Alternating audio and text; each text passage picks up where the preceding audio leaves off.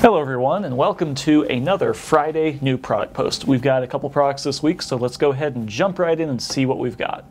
Here we have the Flycam 1 V2. Um, this is the box for it and what this is is it's a very small embeddable video camera. So if you have an RC helicopter, plane, vehicle, whatever, you can take this little video camera and embed it on there and get real-time footage.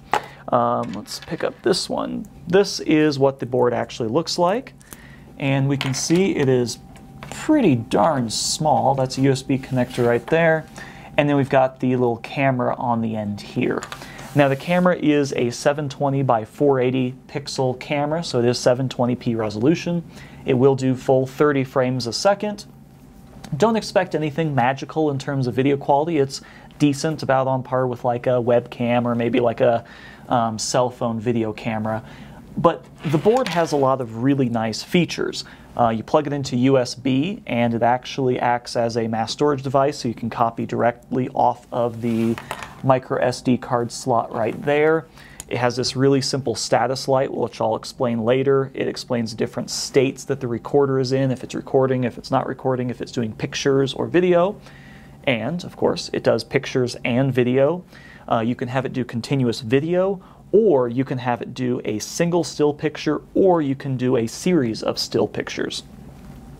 The other thing that's interesting about this board is you can power it directly from a LiPo battery, or you can plug this little pigtail directly into an RC um, receiver. So if you have a remote control radio and receiver for your um, helicopter or whatever, you can plug this directly into there and then you can use your buttons or an extra channel on your radio to actually control this.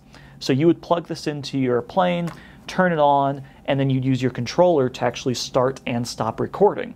So it's pretty cool. It's really made to be embedded into an RC application. Um, really the only downside to this is the instructions are a little bit sparse and there's a couple things that are kind of quirky with it. Um, I'm going to explain kind of the ins and outs and give you just kind of a quickie um, video instructional manual on how to use this. It is really simple, but some of the instructions be kind of confusing. They're in German. It's a little odd.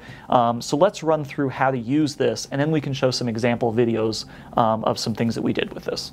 Um, the first thing that I would like to state is that the units we're shipping, um, at least as of the date of this video, do not have the updated firmware. They're actually sending out 640 by 480 video, so you will need to update the firmware if you want to get the full 720 by 480 video. Um, the instructions are kind of interesting and a little bit vague. Um, through a little bit of trial and error, I figured out how to do this. Essentially, what you want to do is you want to download the drivers on the product page. When you download those, follow the first set of instructions. You um, run the I think it's install, reinstall, something like that. Um, follow the instructions, do the first line. That will actually install the drivers for this on your computer. Once those are actually installed on the computer, you need to reboot. Once you've rebooted, you're going to plug this in to the USB, so just plug it in. But when you do that, hold down the selection button. Holding down the selection button makes it not show up as a mass storage device. Now, Windows will not recognize what this is and it will prompt you to do the driver installation. When you do the driver installation, those files that you copied over earlier will just magically appear and this will be recognized and you will you know, have this working and have all the drivers for it.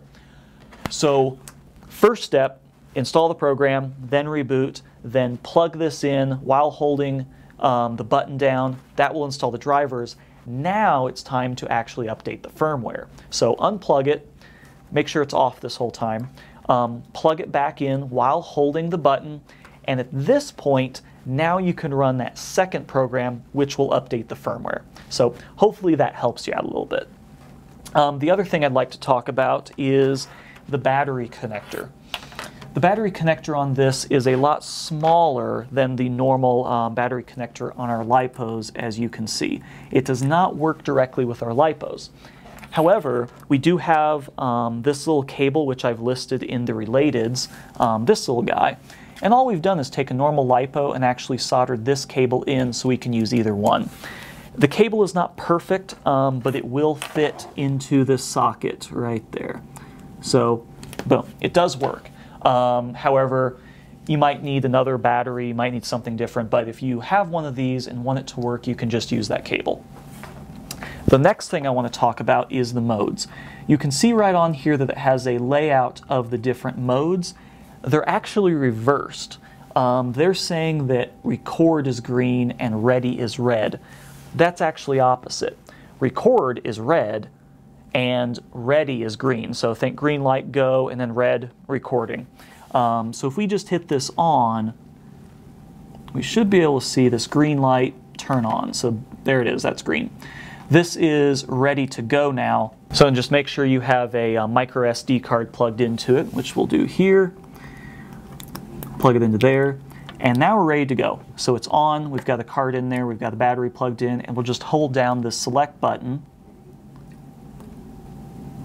and it changes to red. Now it's recording. So now it's recording video and all you have to do is hit the select button again, it stops and we're good. So we'll just go ahead and turn this off. Um, now, as I said before, you can use this cable over here to control that starting and stopping with a radio controller. So instead of having to press the button every time, you can just use this over here. Unfortunately, there's no feedback, so it might be easiest just to press the button before you launch your plane or whatever and just make sure it's recording at the time. Um, another little interesting thing about this setup is we're not really sure exactly how this is all buffering and recording to the SD card. Um, but if you just remove the card or just take power away, whatever you were recording will just be lost. So ultimately, you want to be careful that when you're recording it, you actually physically stop it and then turn it off.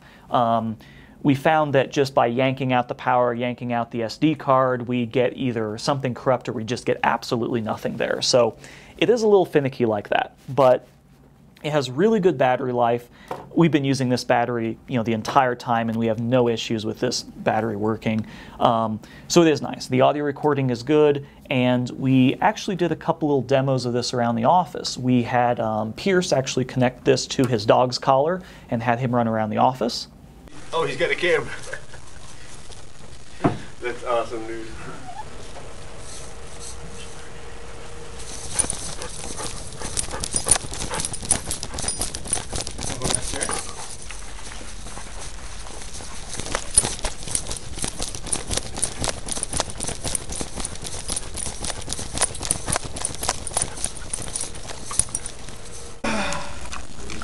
news. I don't know what you're eating, but you shouldn't be. And in addition to that, we decided to throw this off the roof. Uh, we didn't want to just slam down into the ground, so we came up with a really simple solution. We actually took grocery bags and used alligator clips to make these parachutes. And so all we did is wrap this whole thing up in foam and then tape this on, and we made a parachute. And surprisingly, it worked really well. Parachute. This is the uh, Flycam 1, and we've wrapped it in some uh, foam from an IC tray, and uh, then wrapped that up in tape. You ready?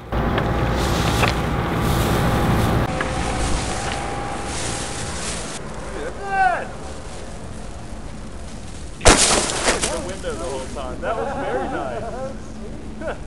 So there you have it, the Flycam 1 V2. Check out the um, product page for all the firmware updates and all the other information about it, and get ready to start recording video.